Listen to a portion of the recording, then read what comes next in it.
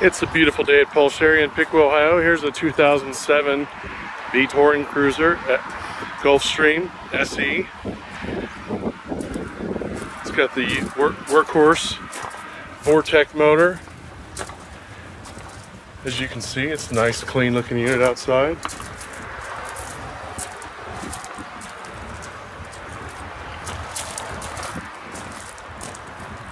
It's a 20 foot, 21 foot model. So squeeze into any normal parking space for the most part. Nice clean unit. It's equipped, fully equipped, self-contained with a generator.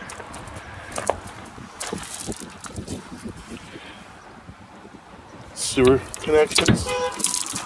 And we have down here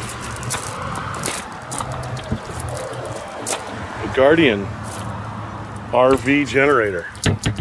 Very nice.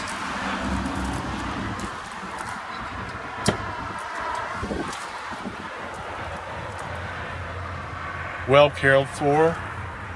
Has the rear camera screen up there so the driver can be confident when he backs up. Here's a look at the kitchen as we come in the back door.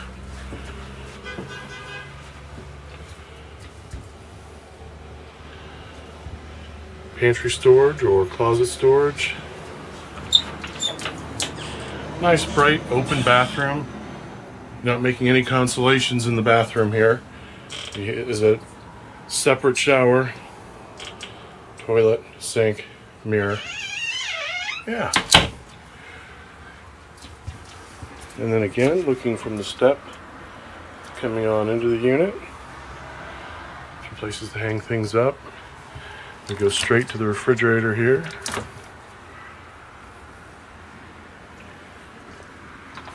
Nice sized Dometic refrigerator. Now here's the unique thing. Bed and dinette are missing, have been deleted by the previous owner. Check it out. It's got a nice full-size bed above here.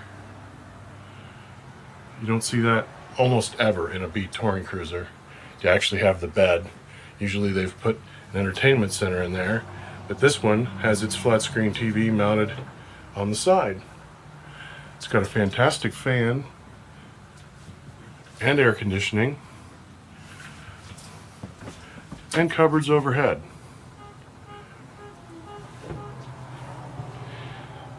This would make a great unit for someone who's traveling a dog show circuit or perhaps uh, needing a traveling office because it's got a lot of space in it. There's a lot of different possibilities here. I don't think this is going to be with us long. It's priced to sell at 19,857.